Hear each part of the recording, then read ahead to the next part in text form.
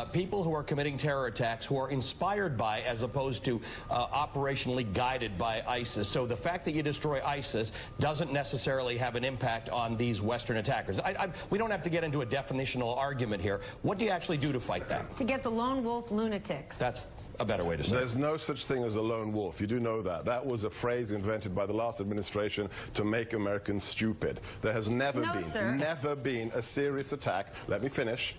There has never been a serious attack or a serious plot that was unconnected from ISIS or Al Qaeda, at least through uh, the ideology and the TTPs, the tactics, the training, the techniques, and the procedures that they, they supplied through the internet. Never happened. It's bogus. This is an international global threat. What we have to do now is not only destroy organizations like ISIS, which we are doing, they will be annihilated, but also delegitimize the ideology. So it will become as heinous and as rejected as fascism and Nazism is today. That black flag of ISIS has to be globally rejected like the swastika, and we will work with our Muslim partners to overtly and covertly delegitimize their message. That's the definition of victory. When people don't want to become jihadis, that's when we will have won.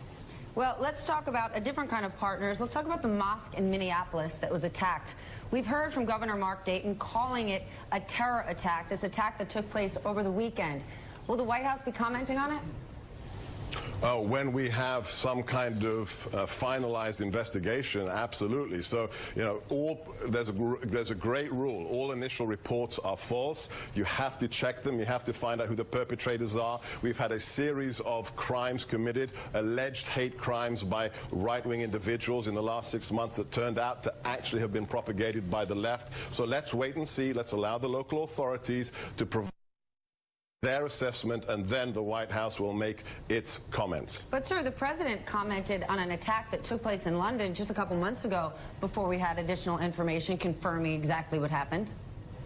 Well, sometimes an attack is unequivocally clear for what it is. When somebody shouts Allahu Akbar as they're stabbing a police officer, it's pretty clear it's not a case of the mafia robbing a bank. Wouldn't you say so? So you think that somebody throwing a bomb into the window of a mosque, it could be something else. It could be, it's, it's fuzzy ground as to what the what question of who be. does it is a question. When you've had people fake hate crimes in the last six months with some regularity, I think it's wise, don't you, to find out what exactly is going on before you make statements statements when in fact they could turn well, out to be not sir, who you are expecting? You, you, don't have to make a statement about who did it, but you can make a public statement denouncing how terrible it would be to attack a, a building of worship.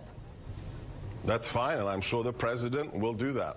And why do you think he hasn't? I mean, it's not like in the last 48 hours the president hasn't tweeted. He's tweeted about his base. He's tweeted about uh, a U.S. senator. He's tweeted about the failing New York Times, and he's made no mention of that mosque. He's also made no mention of the three fallen uh, Marines who lost their lives off the coast of Australia. I'm not going to give social media advice to a man who basically won the election in large part thanks to his understanding of social media and who destroyed the fake news industrial complex's predictions about who would win the last election. So just hold your horses, count to 10, and the president will do what he